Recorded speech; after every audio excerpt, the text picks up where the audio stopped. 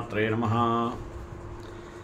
మనిషి జీవితంలో ఏదైనా సాధించాలి అంటే తాను కొన్ని విధాలైనటువంటి లక్ష్యాలను ఏర్పరచుకోవాలి.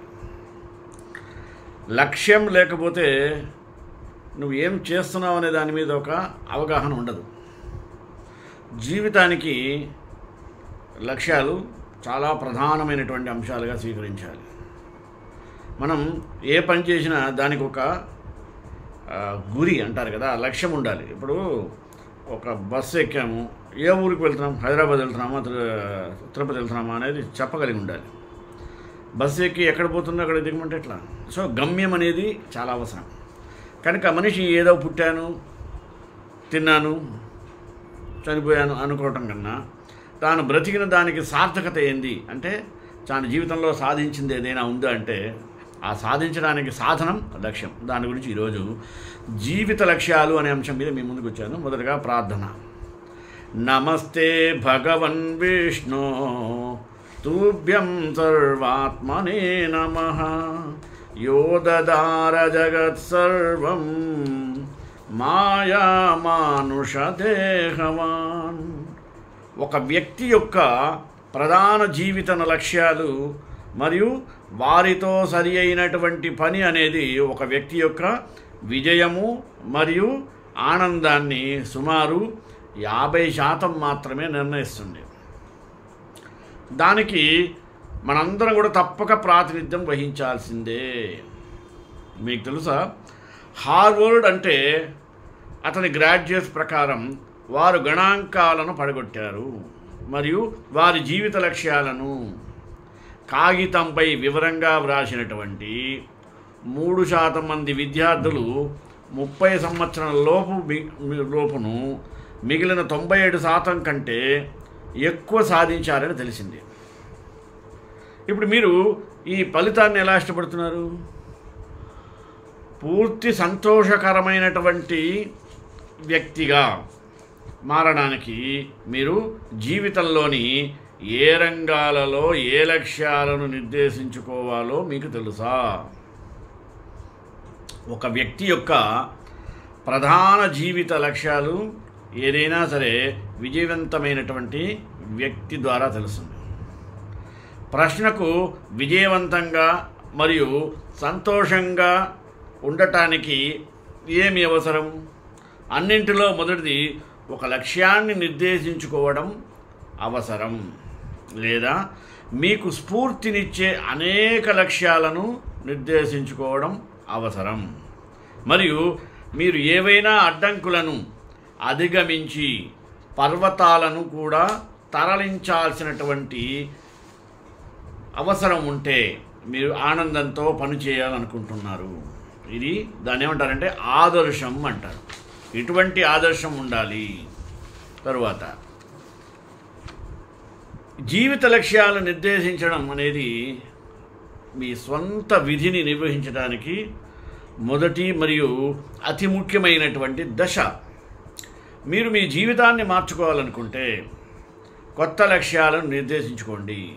కానీ విజయం గురించి దాదాపు ప్రతి పుస్తకం ప్రారంభంలో మీరు ఒక లక్ష్యాన్ని నిర్దేశించుకోవాలి అని చెబుతున్నప్పటికీ ప్రతి చోట లక్ష్యంతో పనిచేయడానికి సమర్థవంతమైన మరియు అర్థమయ్యే అల్గోరిథం ఇవ్వబడుతుంది. మరియు అనేక ముఖ్యమైన ప్రశ్నలు కూడా ఏర్పడతాయి. నాకు ఏ లక్ష్యాలు ఉన్నాయి లక్ష్యాల కోసం అవసరాలు. అది సాధించడానికి లక్ష్యాన్ని ఎలా నేను సెట్ చేసుకోవాలి? లక్ష్యాన్ని సాధించడానికి అల్లోరిథం మరియు అనేక ఇతర ముఖ్య సామ్యాజ్ఞాలు ఎలా ఉపయోగపడతాయో కూడా తెలుసుకోవాలి. అన్ని జీవిత లక్ష్యాలను మూడు వర్గాలుగా విభజించాలి. ఒకటి ఉన్నత లక్ష్యాలు. అంటే మనిషి వ్యక్తిగత అభివృద్ధి మరియు సామాజిక సేవతో ఉన్నత వ్యక్తిత్వంతో ఎదగాలి అనుకుంటాం. అది ఉన్నత లక్ష్యం. రెండవది ప్రాథమిక లక్ష్యాలు. అంటే స్వీయ సాక్షాత్కారం మరియు సంబంధాలు. మూడవది సహాయక లక్ష్యాలు అంటే డబ్బు విశ్రాంతి జీవితం. మీరు కనీసం ఒక విషయాన్ని మినహాయించినట్లయితే జీవితం ఇకపై పూర్తిగా పూర్తి కాదు. మరియు విజయవంతంగానూ ఉండలేరు. ఉన్నత లక్ష్యాలు లేనట్లయితే ఒక వ్యక్తికి కుటుంబం మరియు ఉద్యోగం ఉన్నప్పటికీ ముందుగానే లేదా తరువాత అతను తన యొక్క హృదయంలో సంతృప్తిని కోల్పోతాడు. పెరగడం ఆగిపోతాడు. చివరికి జీవితం మరియు ఆనందానికి అర్థం తెలుసుకోలేకపోతాడు. ప్రధాన లక్ష్యాలు కనుక లేకపోతే అతనికి ఏమీ లేదని భావించండి. ఇది నిరాశ్రుడైనటువంటి వ్యక్తి. పని లేకుండా తదనుగుణంగా డబ్బు లేకుండా సంబంధాలు లేకుండా వరుసగా ఒంటరిగా మరియు సంతోషంగా ఉండకూడదు. అనగా ఒక వ్యక్తి తన ఒంటరితనం నుండి విపరీతంగా బాధపడకపోయినా అతని హృదయం ఇప్పటికీ పాడుతుంది. విలువైన స్నేహితులు మరియు సమీపంలో ప్రేమైన వారు లేకుంటే ఆనందం అనేది ఉండదు. ఒక వ్యక్తికి సహాయక లక్ష్యాలు రెండవది మూడవది. లేకుంటే లేదా చాలా నిర్లక్ష్యం చేసినట్లయితే అతను నియమం ప్రకారం చాలా సమస్యలు డబ్బు లేకపోవడం దేశీయ సమస్యలు అనారోగ్య సమస్యలు మొదలైనవి ఏర్పడతాయి. నాణ్యమైనటువంటి విశ్రాంతి లేకుంటే అది వేదనలో లేకపోతే అధిక శ్రమతోనో హృదయంలో చాలా బాగా ఆనందం లేకుండా వెళ్ళవచ్చు. శ్రావ్యమైన మరియు సంతోషకరమైన జీవితం కొరకు అన్ని లక్ష్యాలు క్రమంగా ఉండాలి. మనిషి యొక్క ఉన్నత లక్ష్యాలు. అంటే మొదట వ్యక్తిగత అభివృద్ధి ఉండాలి. ఇప్పుడు ఆధ్యాత్మిక శక్తివంతమైనటువంటి మరియు శారీరక అభివృద్ధి ప్రతిదానిలో కూడా స్థిరమైనటువంటి గుణాత్మకమైనటువంటి వృద్ధి. నిజానికి అభివృద్ధి అనేది వ్యక్తిత్వం వీటిని కలిగి ఉంటుంది మరియు లక్ష్యాలను కలిగి ఉంటుంది. ఒక వ్యక్తి అనగా అతని ఆత్మ యొక్క సంభావ్యత యొక్క పూర్తి బహిర్గతం. అతన్ని అన్ని ఉత్తమ లక్షణాలు ప్రతిభ మరియు సామర్థ్యాలు. ఒక వ్యక్తిని అణచివేసే ప్రతిదానిని తొలగించడం అతనిని బలహీనంగా మరియు అసంతృప్తిగా చేస్తుంది. ప్రతికూల లక్షణాలు మరియు భావోద్వేగాలు అనగా ఆగ్రహం సోమరితనం అహంకారం మరి తక్కువ ఆత్మగౌరవం బలహీనతలు మరియు దుర్గుణాలు అనగా వ్యసనాలు చెడు అలవాట్లు. ఒక వ్యక్తిని నాశనం చేసే ప్రతీది కూడా ఇది కారణం. మరి రెండవది శారీరక మరియు శక్తి అభివృద్ధి. అనగా క్రీడలు అవి రన్నింగ్ కావచ్చు జిమ్ కావచ్చు యోగా మార్షల్ ఆర్ట్స్ మెడిటేషన్ ఏదైనా ఒక వ్యక్తికి శక్తి యొక్క సామర్థ్యాన్ని అందిస్తుంది. మరియు ఇది అతని సామర్థ్యం అనునా అనున్నది అతని లక్ష్యాలను సాధించడానికి ఏర్పడేటువంటి ఉండవలసినటువంటి ఒక శక్తి ఎనర్జీ సేవ. ఆధ్యాత్మిక వ్యక్తులకు ఇది దేవుని సేవ. పూర్తిగా సామాజిక వ్యక్తులకు ఇది సామాజిక మరియు ప్రపంచానికి సేవ.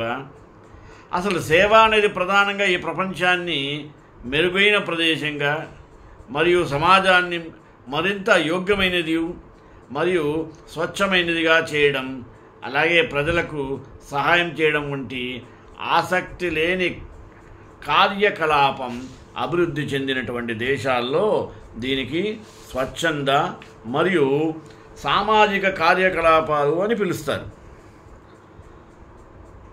అలాగే సిఎస్ సిఐఎస్ దేశాల వలె కాకుండా జనాభాలో నూటికి తొంభై శాతం ఇందులో పాల్గొంటారు.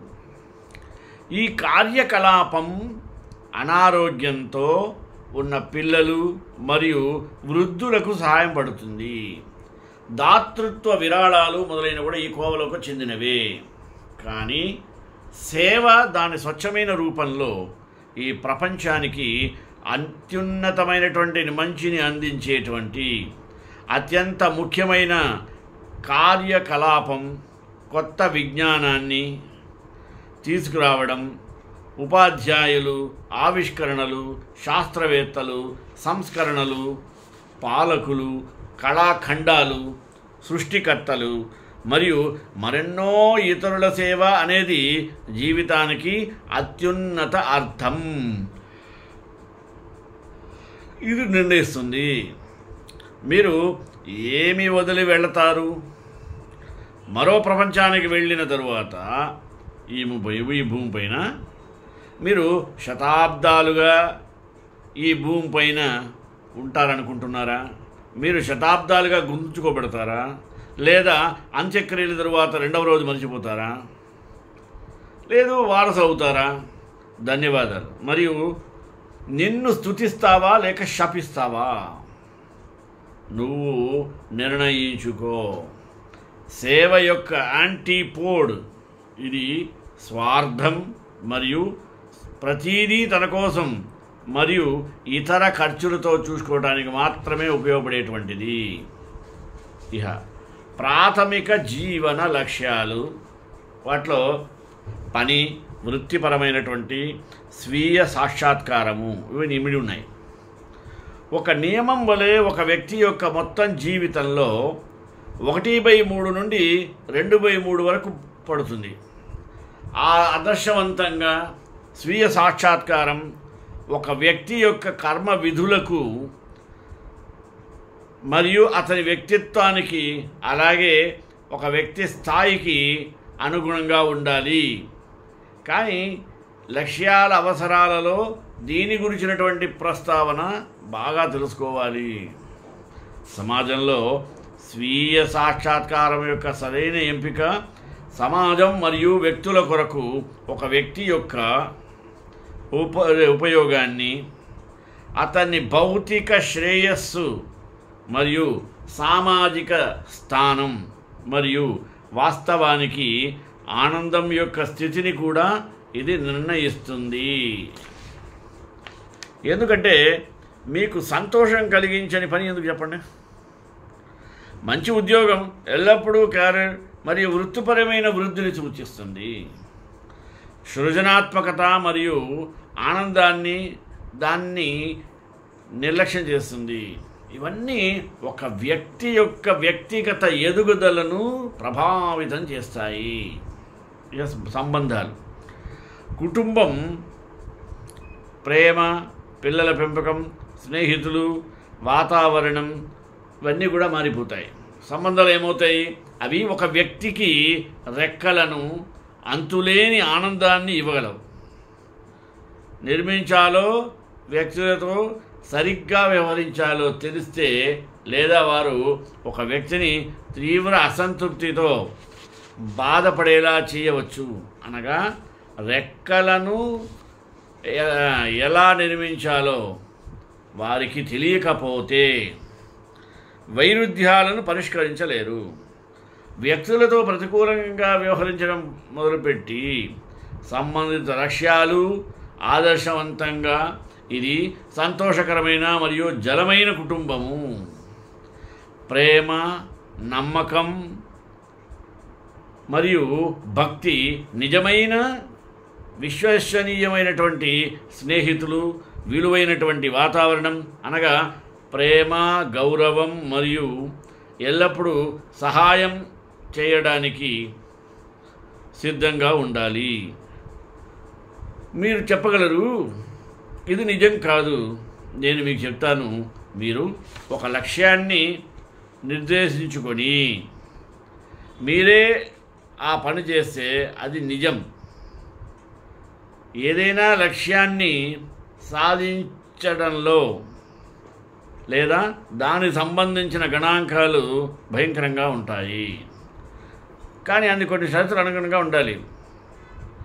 ఉదాహరణకి సిఐఎస్లో యాభై శాతం కంటే ఎక్కువ రాజద్రోహం ఇంకా ఎక్కువ. ఎనభై శాతం కంటే ఎక్కువ మంది ప్రజలు తమను తాము ఒంటరిగా భావిస్తారు. అయినప్పటికీ వారు మిలియన్లకు పైగా నగరాల్లో నివసిస్తున్నారు కనుక ఇది ఒక గొప్ప విషయం. అంత మాత్రమే కాదు ప్రజలకు ఎలా తెలియజేయాలో ఏ విధమైనటువంటి సంబంధాలను ఎలా నిర్మించుకోవాలో తెలియదు. మరియు చాలామంది దీన్ని చేయడానికి కూడా వెనకడుగుతూ వేస్తుంటారు. వారు సోమరితనం అవిశ్వాసం గురుద్వరం వారి సొంత స్వార్థం మరియు ఇతర దుర్గుణాలు మరియు బలహీనత ద్వారా గమనించబడ్డారు. అలాగే ప్రశ్నకు సమాధానం ఇవ్వడం ద్వారా లక్ష్యాన్ని ఒక నిర్దేశించడం ద్వారా ప్రారంభించండి. కోరుకుంటున్నారా? సహాయక లక్ష్యాలు డబ్బు అవగాహన గణన మరియు స్థిరమైన అభివృద్ధి అవసరమయ్యే ప్రత్యేక లక్ష్యంగా కూడా గుర్తించబడగలగాలి. అలాగే నేను మన జీవితంలో ప్రతిదానిని డబ్బుతో ఆనందాన్ని కొనలేను. అనగా చాలామంది ధనవంతులు మరియు దురదృష్టవంతులు ఉన్నారు. మీరు నిజమైన ప్రేమను మరియు స్నేహం యొక్క స్నేహితుని యొక్క కొనుగోలును చేయలేరు. మీరు ఆరోగ్యాన్ని కూడా కొనుగోలు చేయలేరు. కాకపోతే మీరు ఏం చేయగలంటే మీ సొంత బుర్ర ఉపయోగించి పదమూడు విధాలైనటువంటి సమస్యలను పరిష్కరించుకోగలుగుతారు. కానీ డబ్బు కొరకు మీరు చాలా కొనుగోలు చేయాల్సి వస్తుంది. అది ఒక రకమైన మద్దతుగా మీ ఆనందం. సంబంధాలు జీవితం వినోదం మరియు ఇతర జీవిత లక్ష్యాలకు పు- పాక్ పునాదిగా ఉపయోగపడుతుంది. డబ్బు కూడా మరి నేర్చుకోవాలి. మరియు చాలా మంచి పుస్తకాలు శిక్షణలు మరియు కోర్సులు దీనికి అంకితం చేయబడ్డాయి. అదనంగా డబ్బు దాని స్వచ్ఛమైనటువంటి రూపంలో ఆనందాన్ని కొనుగ చేయలేనని చెప్పినప్పటికీ అది కూలి లేకుండా అది చాలా ఆరోగ్యంగా త్వరగా పోతుందని నేను చెబుతాను. మరి ఒక వ్యక్తీకరణ కూడా ఉంది. ప్రేమ పడవ కూలిపోయింది. పేదరికం మరింత కూలిపోయింది. అందువలన ఆధునిక ప్రపంచంలో ఎట్టి పరిస్థితుల్లోనూ దీన్ని నిర్మించడం విస్మరించడం జరగదు. అంటే అయినప్పటికీ అందించడం కానీ చాలా ముఖ్యమైనది లక్ష్యం జీవితం. జీవితం ఆనందమయంగా ఉండాలి ఉండేలా మరియు ఎక్కువ సమయం మరియు డబ్బు తీసుకొని విధంగా నిర్వహించబడాలి ఇది ఒక వ్యక్తి యొక్క పని. వీలైనంత త్వరగా జీవించడానికి జీవితాన్ని నిర్వహించడం.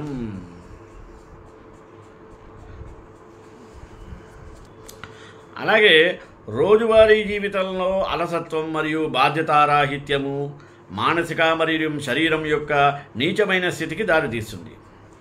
జీవితం యొక్క అసమర్థత మరియు సమయం మరియు డబ్బు యొక్క తెలివి తక్కువ వృధా. జీవితం ఎలా ఉండాలి? ప్రత్యేక లక్ష్యంగా గుర్తించబడాలి. ఇది ఇతర లక్ష్యాల అమలుకు ఒక షరతు. ఉదాహరణకి ఇంట్లో పిక్ స్టై ఉంటే స్నేహితులను ఆహ్వానించడానికి ఎక్కడా లేదు. మరి అలాంటి ఇంట్లో మీరే ఉండటం వలన అసహ్యంగా ఉంది. అంతకన్నా ఎక్కువ శాశ్వతంగా జీవించడం. ఇక విశ్రాంతి. చాలామంది విశ్రాంతిని ప్రత్యేక లక్ష్యంగా పరిగణిస్తారు. మరియు దానిని చాలా తేలికగా చూస్తారు. చాలా తరచూ దీని కారణంగా ప్రజలు ఆదిమ పథకం ప్రకారం బోరింగ్ జీవితాన్ని గడుపుతారు. పని ఇంటి పని మానవ ఆత్మ డిమాండ్ చేసే అద్భుతమైన ముద్రలు లేకుండా సంప్రదాయాలు విశ్రాంతికి కూడా కారణమని చెప్పవచ్చును. ఇది ఒక వ్యక్తిని యోగ్యమైనది బహిర్గతం చేయడం మరియు బలోపేతం చేయడం మరియు మీరు కోలుకోవలసిన వాటిని కాదు మీరు మరియు ఆరోగ్యాన్ని పొందండి కొన్ని రోజులు. ఉత్తమ సందర్భంలో ఇది జన్ బంతులు నేపథ్య మరియు సృజనాత్మక సెలూన్లు మరియు సాయంత్రం మొదలైన వాటిలో పాల్గొనడం. ఇవన్నీ కూడా దాంట్లో జరుగుతాయి. ఇక మంచి సెలవు. ఇది మరపురాని అనుభవం. ఆత్మ మరియు శరీరం యొక్క శక్తి మరియు పునరుద్ధరణ కొత్త పరిచయస్తులు మరియు కమ్యూనికేషన్ ప్రయాణం మరియు మా అందరి పైన ఉండేటువంటి శ్రద్ధ అలాగే ఉత్తమ మూలాల జ్ఞానం అదనంగా ఇది ఆత్మగౌరవం మరియు వ్యక్తిగత అభివృద్ధి. విశ్రాంతి ప్రత్యేక ముఖ్యమైన లక్ష్యంగా గ్రహించాలి అనేది సామెత కూడా ఉంది. ఎవరికైతే మంచి విశ్రాంతి ఉంటుందో అతను బాగా పనిచేస్తాడు. ఒక ప్రత్యేక కథనంలలో ఏడాది పొడవునా మీ సెలవులను ఎలా నిర్వహించాలో మనం మరింత వివరంగా తెలుసుకోవాలి. వ్యక్తికి ఒక లక్ష్యం ఉండాలనేటువంటి అభిప్రాయం ఉంది. దీని అమలు కొరకు మరికొన్ని అడుగులు వేయడానికి అతను ప్రతిరోజు ఉదయం మేల్కొంటాడు. లక్ష్యం లేని వ్యక్తి తన జీవితాన్ని వ్యర్థంగా మరియు అర్ధరహితంగా జీవిస్తాడని నమ్ముతారు. అలాగే అన్ని తరువాత అభివృద్ధి కోరిక దానిలో అంతర్లీనంగా ఉంటుంది. లక్ష్యం కేవలం ముగింపు రేఖ మరియు దానిని సాధించడం అనేది వ్యక్తిని మెరుగుపరచడానికి మరియు మార్చడానికి అనువైనటువంటి మార్గము. దురదృష్టవశాత్తు చాలామంది నిపుణులు ప్రజల లక్ష్య రహితత ఆధునిక సమాజానికి శాపంగా ఉందని గమనించారు. ఇది చాలా చిన్న వయస్సులో చాలా సాధారణం. పారాడాక్స్ ఎందుకంటే నేటి జీవితం దాని విజయాలు మరియు వివిధ ప్రయోజనాలతో వాటిని స్వీకరించడానికి ఒక వ్యక్తిని ప్రేరేపించాలి. మరియు సాధారణ లక్ష్యాలు ఎలా ఉండాలి? వాటికి ఉదాహరణలు భిన్నంగా ఉండవచ్చు.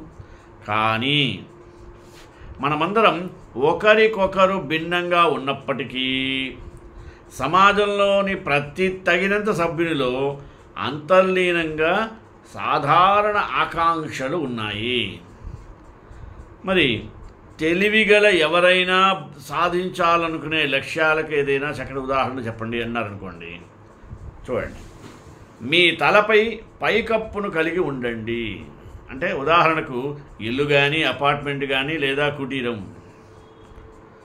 దివాలా మరియు ఇతర ఇబ్బందులు లేకుండా ఆర్థికంగా సురక్షితంగా మరియు స్థిరంగా ఉండటానికి ప్రయత్నించండి. మూడు ప్రయాణం ఆహారం సాంకేతికత కార్లు బట్టలు తప్పక కలిగి ఉండాలి. తర్వాత సృజనాత్మకంగా గ్రహించండి. ఐదు. సంతోషకరమైనటువంటి కుటుంబాన్ని సృష్టించండి. ఆరు. మంచి తెలివైనటువంటి ఆరోగ్యకరమైనటువంటి అభివృద్ధి చెందినటువంటి మరియు సామరస్యపూర్వకమైన పిల్లలను పెంచడానికి ఉపయోగపడుతుంది. ఇంకా ప్రియమైన వారి చుట్టూ వృద్ధాప్యములో జీవించండి మరియు ఏమీ అవసరము లేదు. ఇవి బహుశా ఈ జాబితాలోని అత్యంత ముఖ్యమైన లక్ష్యాలుగా చెప్పుకోవచ్చు. వాస్తవానికి ఈ జాబితా అతిశయోక్తి కాదు. ఇది భిన్నంగా కనిపించవచ్చు కానీ చివరికి ప్రతి ఒక్కరూ ఈ విషయాలను పొందేందుకు వివిధ మార్గాల్లో ప్రయత్నిస్తారు. ఉదాహరణకి మినహాయింపులు ఉన్నప్పటికీ తమ జీవితాలను ఇచ్చే వ్యక్తులు ఉదాహరణలకు మానవాళిని రక్షించడానికి కొన్ని రకాల ఔషధాలను కనిపెట్టారు. కదా? అలాగే కొత్త సాంకేతికతలు పరికరాలు ఎగిరే వస్తువులతో ముందుకు వచ్చారు. మానవ జీవితంలో ప్రసిద్ధ లక్ష్యం చిన్న ప్రాంతీయ స్వార్థపూరిత ఆకాంక్షలు కాదని ప్రపంచ పెద్ద స్థాయి మరియు ఖచ్చితంగా అందరికీ ఉపయోగపడే విధమైనటువంటి విజయాలను వారు నమ్ముతారు. ఇక మానవ జీవితంలో ప్రయోజనం లేదు. దీనికి ఉదాహరణలు తరచుగా కనుగొనవచ్చును. ఎట్లా? ఒకరికి కోరికలు ఆకాంక్షలు ఎందుకు ఉన్నాయో మరొకరికి ఎందుకు ఉండదో సో అర్థం కాదు.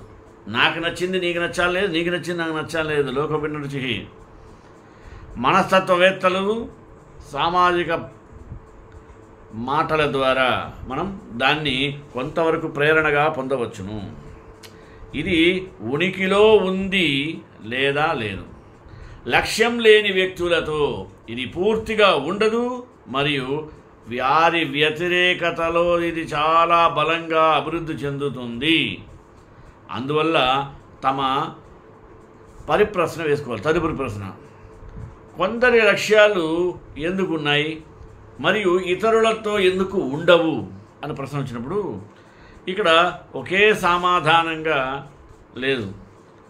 ఎవరైనా జన్యుశాస్త్రం విద్య యొక్క తప్పులను మొగ్గు చూపుతారు. మరికొందరు మన సమాజం యొక్క కొన్నిసార్లు అసాధ్యమైనటువంటి అవసరాలతో ప్రారంభంలో ఏదైనా అణచివేస్తుంది. మరియు బయటకి వెళ్ళడానికి ఇష్టపడని వ్యక్తులు అటువంటి ప్రభావానికి లోనవుతారు. ఓకేనా? మీరు అడ్డంకులను శ్రద్ధ చూపకపోతే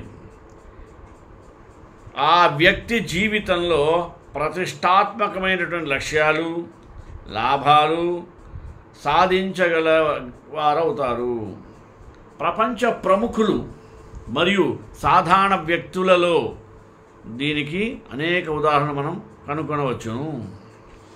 అలాగే మనిషి తొందరపాటు లేకుండా జీవితం గురించి మా సంభాషణ యొక్క కొనసాగింపుగా తెలుసుకోవచ్చును. ఇప్పుడు మన యుగం యొక్క కొత్త ధోరణి మీ జీవితంలో కొత్త అరవ ఒరవడిని సృష్టించకుండా ఉంటుందా? వాటిని గురించి తెలుసుకుందాం. జీవితం ఒక అడవి. నీ జీవితానికి నువ్వే దారి వేసుకోవాలి. నీ రాజధాని నువ్వే నువ్వే చూసుకోవాలి. ఈ లోకంలో నీకు ఒంటరిగానే వచ్చావు. నీ రాకకు ఆనందించారు. ఒంటరిగానే వెళ్ళిపోతావు. నీ రాకకు ఆనందిస్తారే తప్ప నీ పోకకు ఏడుస్తారు. కానీ ఎవ్వరు నీ వెంట కంగుణం కూడా అడుగు అట్ట తీసట వేరు పైగా నీ పోకకు ఏడుస్తారు. ఎవరు వెంటరారు? ఏది నీ వెంటరాదు? జ్ఞానావకాశాలలోనే కొనసాగుతావు. ఇంకా జ్ఞాపకాలే నీ యొక్క చరిత్ర.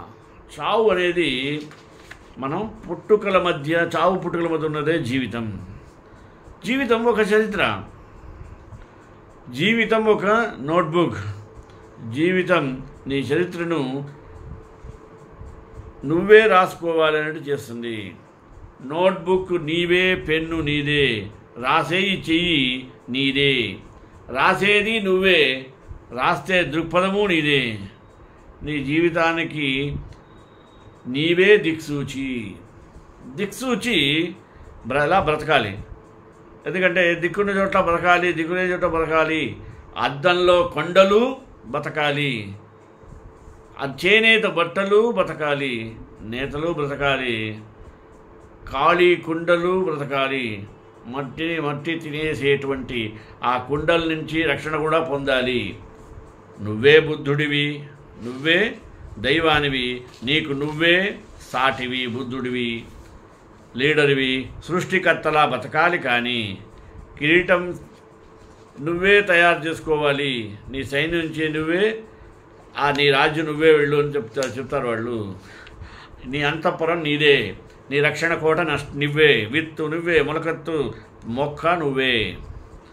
ప్రేమ కరుణతోటి మనిషికి ఆధారం. స్వేచ్ఛ సమానత్వం తనకు తానే ఆధారం. స్వేచ్ఛతో సమానత్వంతో ఆటపాటలు వినోదయాత్రలు మరి కళలు సాహిత్యం వినోదం ఆధారం తానే అవుతాడు. ఇప్పుడు మనిషి కళలు సాహిత్యం వినోదాలు విహారయాత్రలు అవసరం ఇప్పుడు అన్నీ మనిషి జీవిత అవసరాలే ఈ విత్తుకి ఈ విత్తు నువ్వే. సో మొలకెత్తే మొక్క నువ్వే పసి పసిలో ఇవన్నీ తెచ్చింది. నువ్వు వార్తలు బ్ర బ్రతకాలి. భూమిని తలకిందులు చేసి బువ్వ పంచిపెట్టే రైతులా బ్రతకాలి. సూర్యుని వెలుగులా ప్రశంచాలి వెన్నెల్లా వెలగాలి. జీవిత పరిణామాలే కాకుండా ఈ జీవితం చివరికి తన వైపు మలుచుకోవడానికి కూడా ప్రయత్నించుకోలేక స్థితి రాకూడదు. బతకడమే జీవితం చావు పుట్టుకల మధ్య మరుజన్మటువంటి లేదు. మళ్ళీ మళ్ళీ బతికి వచ్చిన వారు ఎవరూ లేరు. నీవు చనిపోయిన మిగిలే నీ జ్ఞాపకాలు తప్ప. జీవితాన్ని ఒక ఆటలా జీవించాలి కర్తవ్యాలుగా జీవించాలి మంచి పుస్తకంలా జీవించాలి సాగిపోయే దారిలా జీవించాలి దారి చూపేవారుగా జీవించాలి. ఈ విధంగా జీవిత లక్ష్యం ఏర్పరచుకోవాలి తెలియజేస్తూ శ్రీకాంతాయ కళ్యాణ నిదేనాం శ్రీవేణివాస శ్రీనివాస మంగళం మంగళాసారపై వదాచార్య సర్వేశ్వర మంగళం